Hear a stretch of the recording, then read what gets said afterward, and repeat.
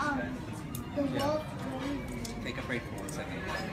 As the man takes the bottle out, he's gonna light the candle. He's gonna pour the bottle into here, pour it here so you can see into the bottle.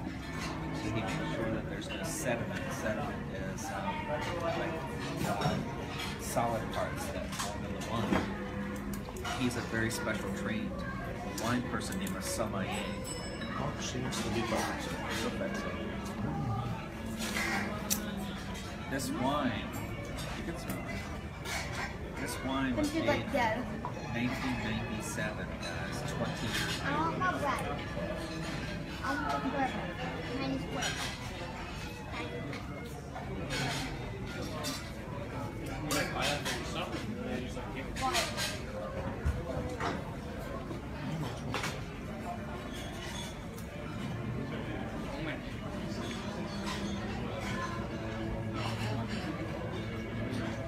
white. Jay, see how the cork is all wet?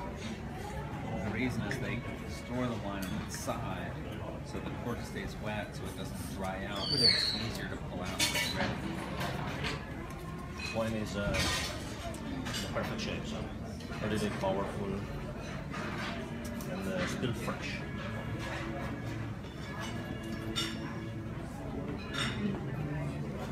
I put it in that special container called out because it gets air oxygen into it, which makes it taste better.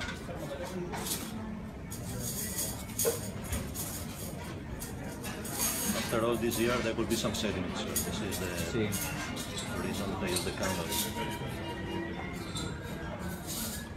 For the moment, everything is okay. I don't want to think that 1997 is that long ago, but it is getting old.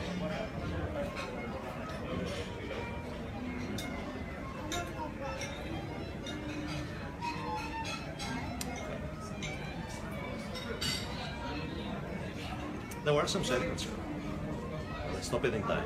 See,